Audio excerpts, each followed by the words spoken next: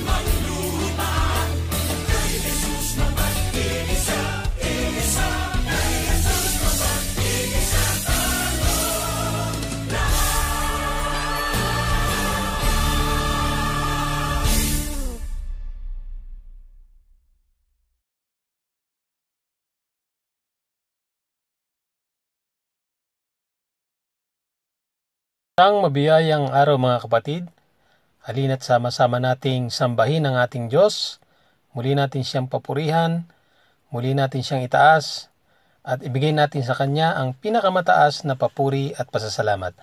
Tayo po ay manalangin. Dakilang Diyos, aming amang nasa langit, maraming salamat po sa araw na ito na muli kaming nagkatipon-tipon upang maipahayag ang aming pananambahan. Muli o Diyos, kami lumalapit sa iyo at nagsusuko ng aming mga karumihan, ang aming mga kasalanan. Nawa Panginoon, patawarin mo kami sa aming mga nagawang kasalanan. Muli o Diyos, kami po ay sama-sama magpupuri magpapasalamat sa iyo na dakilain ka namin, papupurihan at pasasalamatan. Salamat po sa bagong mensahe na iyong ilalahad sa oras na ito. Muli o Diyos, lahat po ay mapagpala, lahat po ay nagtitiwala Panginoon na sa araw na ito, kami Panginoon ay kalulugdan mo at pagpapalain. Ito po ang aming panalangin sa pangalan ni Jesus. Amen.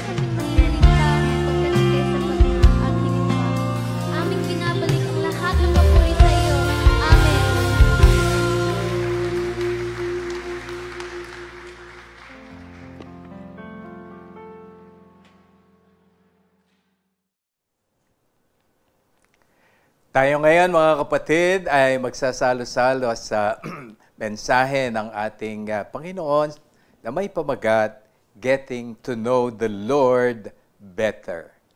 Getting to know the Lord better. Tayo po ay manalangin. Aming Diyos, aming Ama, patuloy niyo po kaming pagpalain as we continue on worshiping you, Father.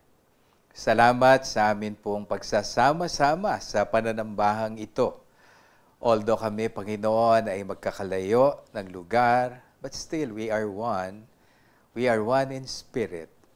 And uh, in unity, in truth, sinasamba ka namin, aming Diyos. Ama, sa pagsasalo-salo namin ng mensahe, kami po ay iyong busugin ng mga katotohanang magpapatibay ng aming pananampalataya. Sa pamagitan ng mensahe, lalo ka pa naming makilala aming Diyos. Sa pamagitan ng mensahe, ay magkaroon kami ng gabay, patnubay sa isang mas maayos na uri ng pamumuhay, kaaya-aya sa iyong paningin, may pakinabang sa mga taong aming nakakasalmuha, ah, higit Panginoon, o una sa lahat, sa aming mga kapamilya, mga kasambahay. Panginoon, pagpalain niyo po ang iyong lingkod sa paghahayag ng mensahe. At ang mensaheng ito, Panginoon, ay lalong magdala sa amin sa mas malapit na kaugnayan sa iyo. Ito po ang aming panalangin sa pangalan ni Jesus na aming Panginoon at tagapagligtas. Amen and Amen. Psalms 95, 1 to 7. Psalms 95, 1 to 7. Come, let us sing for joy to the Lord. Let us shout aloud to the rock of our salvation. Let us come before him with thanksgiving and extol him with music and song. For the Lord is the great God, the great King above all gods. In his hand are the depths of the earth, and the mountain peaks belong to him. The sea is his, for he made it, and his hands formed the dry land. Come, let us bow down in worship. Let us kneel before the Lord our Maker, for he is our God, and we are the people of his pasture, the flock under his care. Getting to know the Lord better. Alam niyo, mga kapatid sa Panginoon, kung meron for improvement na napakalaki sa atin, sa ating lahat, is the room uh, in knowing the, the Lord better. Yung uh, pagkakilala natin sa ating Diyos, dapat lumawig ng lumawig, lumago ng lumago. Isa sa malaking kadahilan na why there is a need for us to uh, grow in the knowledge of the Lord, eh dahil yung ating pananampalataya. The more we grow in the knowledge of the, the Word, the Lord, the more we know the Lord better, nagiging sanhi ng ating pagtibay sa pananampalataya sa Kanya. Yung ating pagsunod sa Panginoon. Mas madali tayong nakakasunod sa Panginoon kung mas nakikilala natin siya na ating sinusundan. Alam niyo, sa totoo lang, marami ang hindi talaga nag-grow sa faith. Kasi hindi naman lumago ang kanilang pagkakilala, pagkaalam sa ating Panginoong Heso Kristo. Mas marami pa yung natutunan nilang turo ng kung sino-sino, doktrina ng kung ano-ano, kisa dun sa pagkaalam kung sino nga at ano ang magagawa ng Panginoong Jesus sa ating mga buhay. Alam niyo, maganda rin naman yung tayo ay may mga naririnig na turo ng kung sino-sinong mahuhusay magturo. Pero dapat mas lumalago tayo sa turo ng ating Panginoong Jesus. Dapat nga lahat ng ating mga natututunan o ating pinananampalatayanan, tinifilter natin sa turo ng ating Panginoong Jesus. And so sa ating text, ano ba yung mga sinasabi tungkol sa Diyos, tungkol sa ating Panginoon? Sa verse 1 sabi, Come, let us sing for joy to the Lord. Let us shout loud to the rock of our salvation. Mga kapatid, the Lord is the rock of our salvation. He is the rock ng ating kaligtasan. Meaning siya yung sandigan. Siya yung pundasyon ng ating kaligtasan. The Lord Jesus is the author of our salvation. Mga kapatid, paalala lang. Hiwalay sa Panginoon, walang kaligtasan. There is no other name given under heaven by which man could be saved except in the name of Jesus. He is the author of our salvation. Sa kanyang kamatayan at pagkabuhay na mag-uli, sa ating pananampalataya sa Kanya, tayo'y naligtas. Hindi tayo naligtas sa pamagitan ng ating mabuting gawa. Mga kapatid, ang mga gawa natin when it comes to salvation, para lang maruming basahan. Hindi tayo pwedeng maligtas ng ating mga mabubuting gawa. Tsaka hindi naman tayo palaging nakakagawa ng mabuti. Minsan nakakagawa tayo ng mga kalukuhan, eh, mga gawa na hindi naman talaga kaaya-aya na kung tayo magiging honest sa sarili natin, miski tayo minsan naiinis doon sa mga ginawa natin. Eh. And so kung aasahan natin yung sarili natin, for us to be saved, come on, hindi tayo masasave, hindi tayo maliligtas. And no religion can save a person. Walang religion na pwedeng makapagligtas sa atin maliban ang Panginoong Heso Kristo. Siya yung author. At siya rin yung keeper of our salvation. Mga kapatid sa Panginoon, sa John 10, 28 to 30, binigyan daw tayo ng buhay na walang hanggan. Ang Panginoon na nagsasalita, I give you eternal life. And you shall never perish. Because no one, according to the Lord Jesus Christ, shall be able to snatch you away out of my hand. Binigyan ko kayo ng buhay na walang hanggan, walang makaaagaw sa inyo sa aking mga kamay. No one shall be able to snatch you away out of my hand. Let me bring your attention to that word snatch. Kayo ba'y naranasan nyo na yung kayo'y maagawan, yung kayo'y may snatchan? Di ba ang mga snatcher ang bibilis? Ang bibilis mang agaw. Wala naman ako nakitang snatcher na kung gumalaw habang nang aagaw is naka-slow motion. Mabibilis sila. Alam niyo, mga kaaway, ang kaaway, mga kapatid, sinisikap niyang agawin tayo. At napaka-deceptive. Although subtle, minsan, mabilis pa rin. No? Hindi natin namamalayan. Pero maganda sabi, ang Panginoon ang nagsabi, hindi kayo maaagaw ni Numan. Hindi kayo maagaw sa akin ang kaaway. No one shall be able to snatch you away out of my hand. Philippians 1.6, ang sabi ni Paul, He who began, the Lord Jesus, who began a good work in us, shall bring it into completion until the day of the Lord.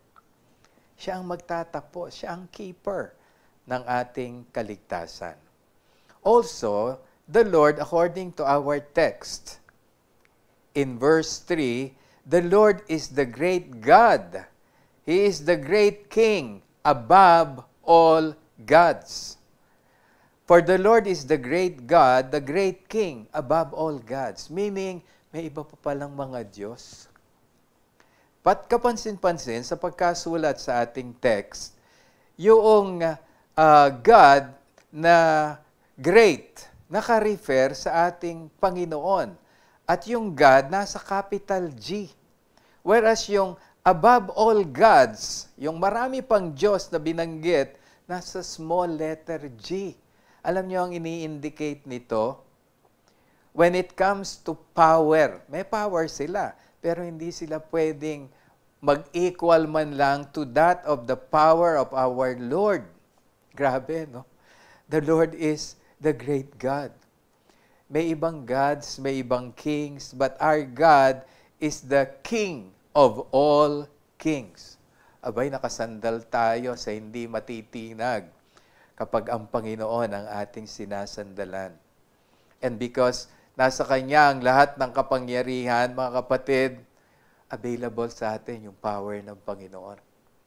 Kaya nga pagkakampi natin ng Panginoon, no? Sabi, walang mananaig laban sa atin.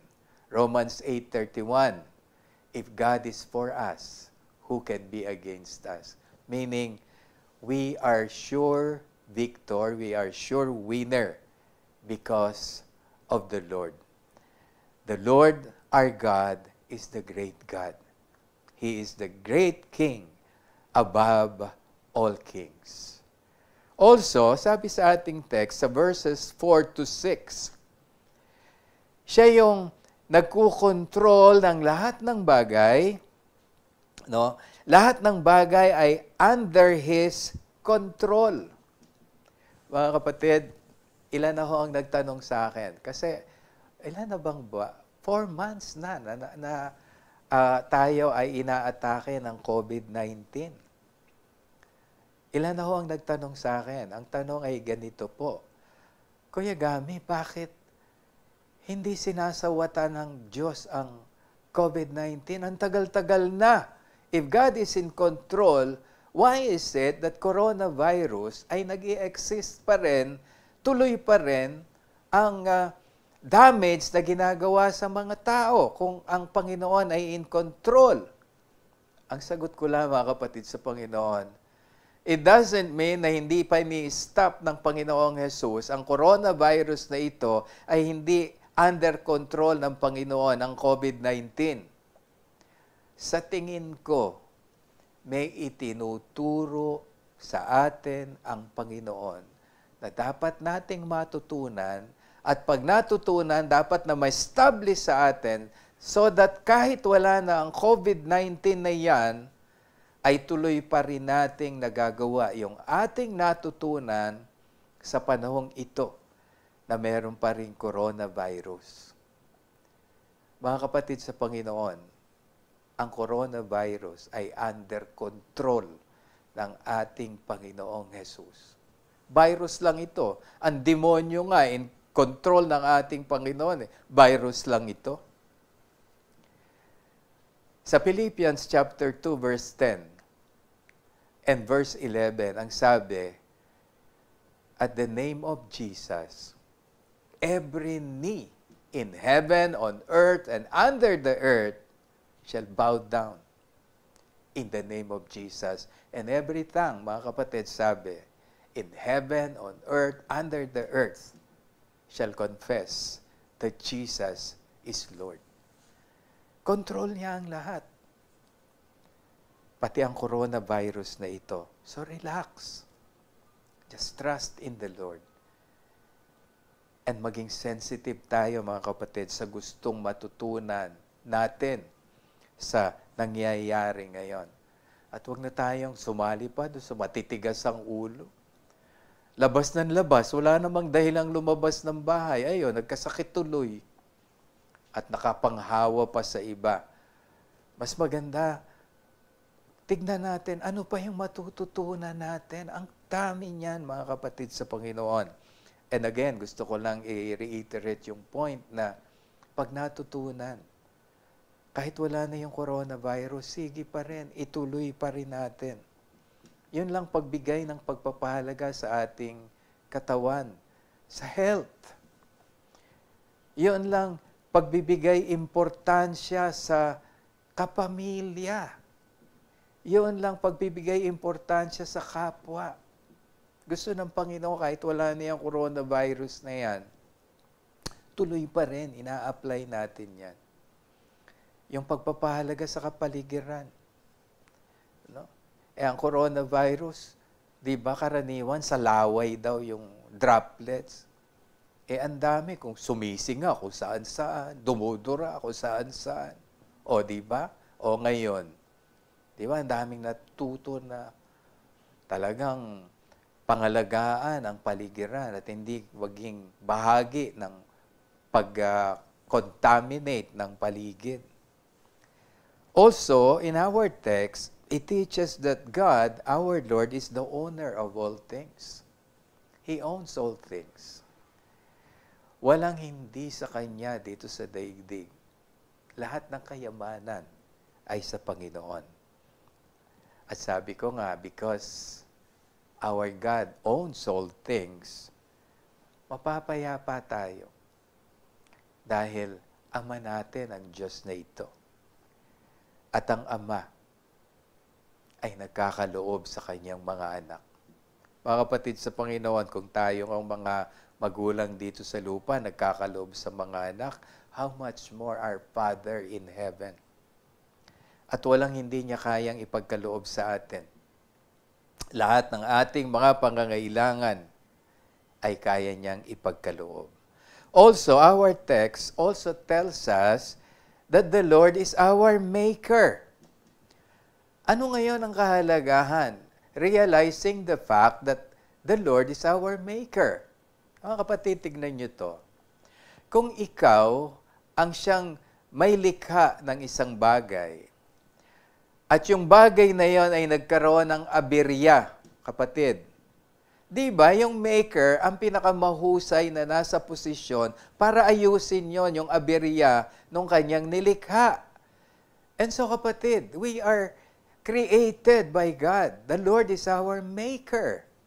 So kung anumang aberya meron tayo, ay wala nang pinakamahusay na pwedeng mag-ayos sa atin, kundi ang ating maker, our Lord.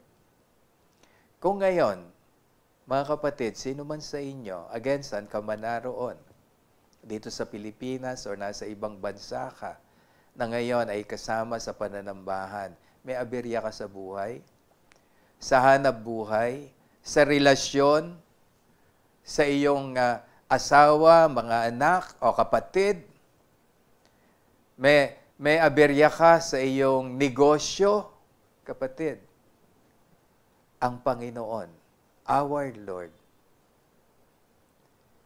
ang makasosolve ng problemang yan. And in the name of Jesus, ipinupronounce ko, mag-submit ka sa Panginoon and where you are right now, sisimulan ng Diyos na ang aberya sa iyong buhay ay ayusin. Kapatid, the Lord is our Maker. And also sa verse 7, the Lord is our shepherd. Ako mga kapatid, ito pagka talagang nag-sink in sa utak natin, sa kalooban natin, na ang Panginoon ang ating pastor, ang kapayapaan sa kabila ng matinding kaguluhan, ang kakontentuhan sa kabila nung wala pa sa kamay mo yung iyong pangangailangan, ay masasapatan. Dahil ang Panginoon ang ating pastor. Ano sabi ni Haring David sa Psalms 23 verse 1? Sabi niya, di ba?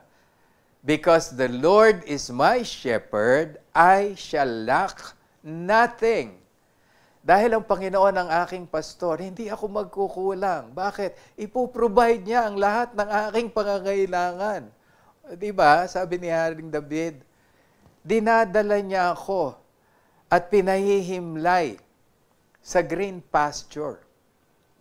No? Alam niya yung pinahihimlay, ano yun eh, ang idea, no, yung talagang, andyan dyan yung green pasture, tapos nakahimlay ka, ibig sabihin, pasasa ka doon. Yun talagang, abundant, hindi magkukulang yung iyong kakainin kasi tupa ang pinag-uusapan dito. Eh ang kaka yung yung uh, pinagdalan green pasture. Yung green nagre-represent no ng hindi lang yung kasapatan, kundi pasasa yun. At yung ang sarap-sarap ng kinakain. He leads me beside still water. Pati uh, uh, kapayapaan, pati yung uh, uh, pag, pangangailangan sa iinumin. Tubig ang binanggit eh. By the way, doon, doon sa konteksto nito, isa sa pinoproblema ng mga tupa, of course, yung iinumin. At ang problema daw sa mga tupa, pagka hindi mo daw yan pwedeng dalhin doon sa ah, batis na magalaw kasi ninenervyos. So, kailangan still yung water. At yung iba nga daw mga pastor, ang ginagawa, gumagawa ng dam para yung water tahimik. At doon daw tayo dinadala ng Panginoon. Kasapatan sa pagkain. Kasapatan sa iinumin. Hindi ka na may stress kapag ka ganon. Tapos kapag ka may umaatake, gusto-gusto ko yung portion na sabi ni Haring David in relation sa pagiging pastor ng Panginoon sa kanya. Sabi niya, oh, He, he prepares a table before me in the presence of my enemy, my cup overflows. Andiyan ang kaaway umaatake. Pero ang Panginoon, pinagpiprepare siya, no? table ang pinag-uusapan, tingin ko ha, pagkainan yun. Nasa kabila ng mga ah, ah, kagipitan at may mga kaaway, ay sapat pa rin ang ginagawa ng Panginoon sa pagsusupply ng kanyang pangailangan at proteksyon laban sa kaaway.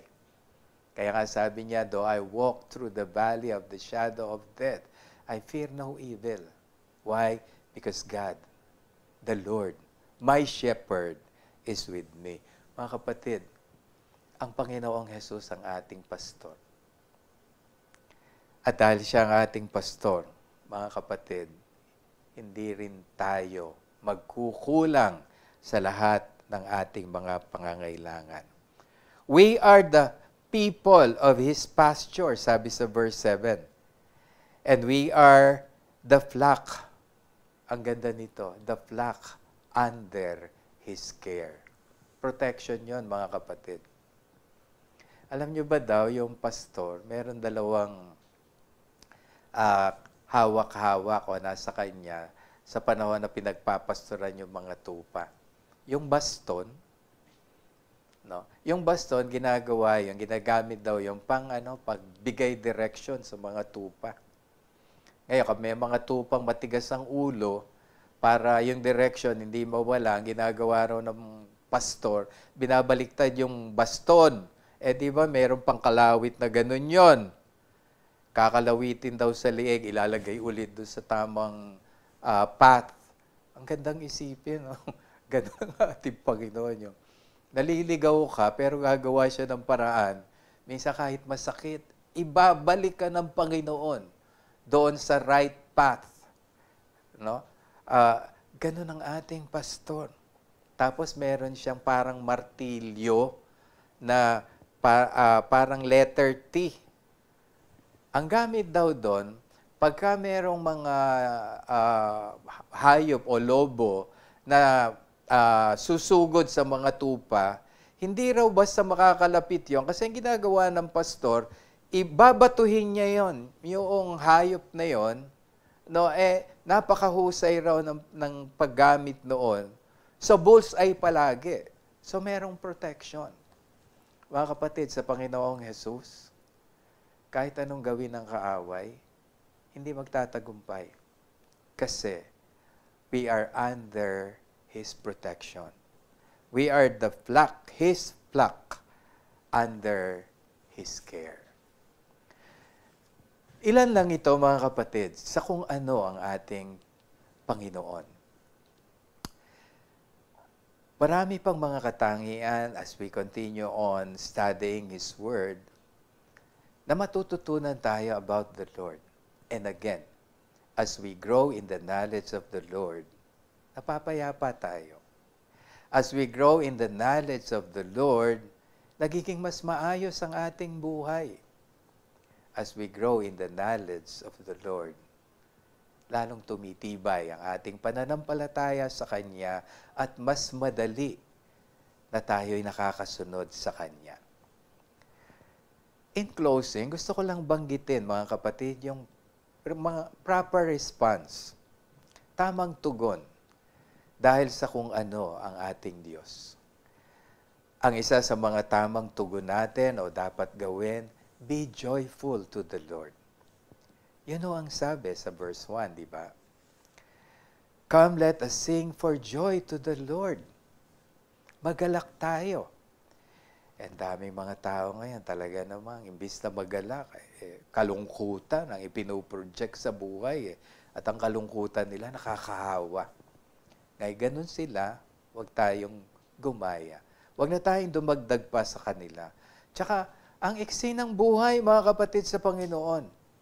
Tapos, dadagdagan mo pa, gagamitin mo pa ang araw para palungkutin ka at magdamay pa ng iba. Be joyful and make the Lord the object of your joy or rejoicing.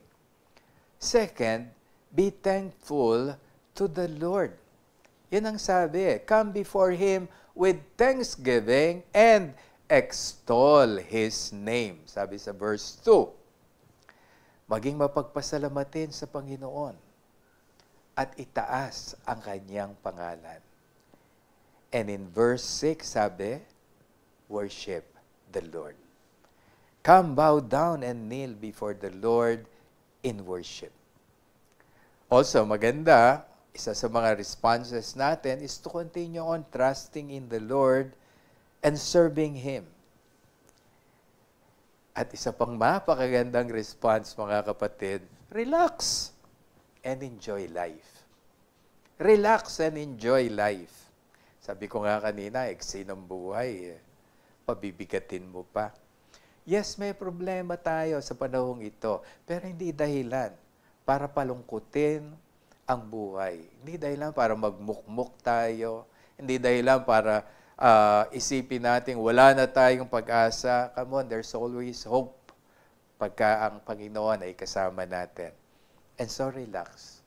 And every day, every morning na ikaw ay uh, gumising, dumilat ang iyong mata, isa sa maging goal mo is to enjoy life. By the way, yan isa sa mga dahilan why the Lord Jesus Christ came for us to enjoy life. Sabi ng Panginoon, John 10 verse 10, The thief comes only to steal, to kill, and to destroy. But I have come that you may have life and have it to the full. Tayo po'y manalangin. Panginoon, salamat po dahil patuloy mong nire-reveal ang iyong sarili sa amin. Patuloy ka naming nakikilala. At kami lubos-lubos na nagpupuri, nagpapasalamat. Dinadakila ka namin, Panginoon, sa iyong kabutihan. Papasalamat kami dahil ikaw ang aming Panginoon, ikaw ang aming tagapagligtas. You are the rock of our salvation. Thank you for being our provider. Thank you for being our shepherd. Maraming maraming salamat po. At patuloy ka pang magpakilala sa amin, aming Diyos. Ito po ang aming panalangin. In Jesus' mighty name. Amen.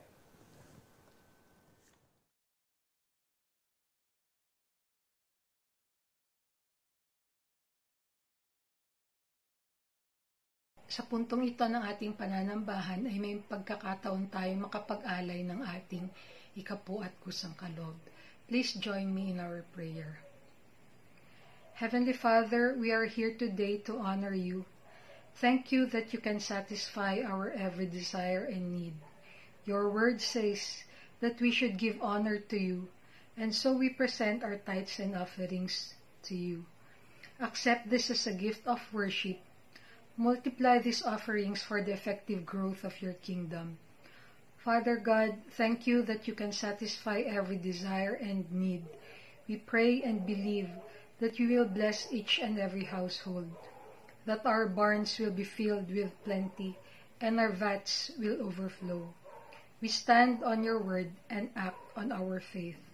This we pray in the mighty name of Jesus Christ our Lord. Amen.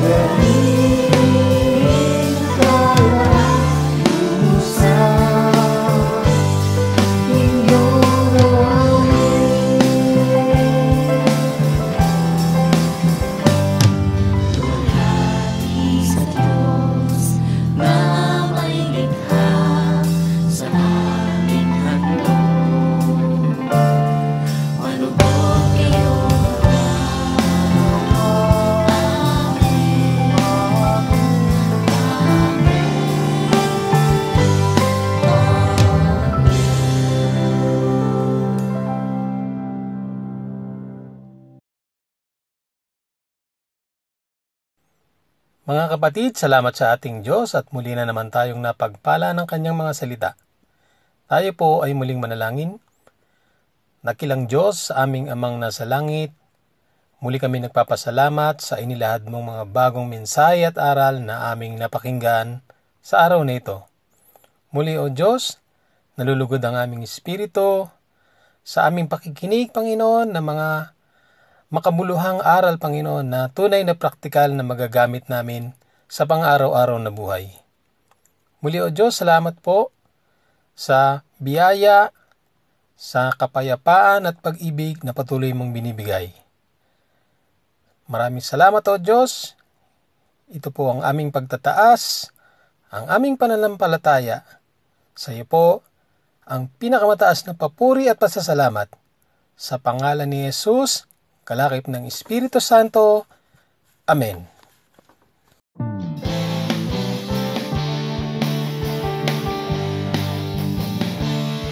Jesus